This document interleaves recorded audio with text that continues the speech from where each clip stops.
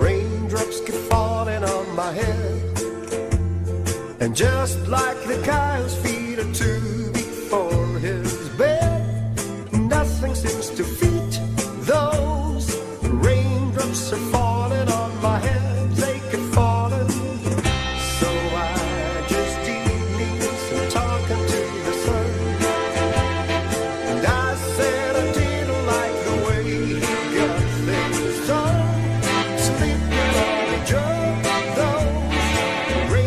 so far.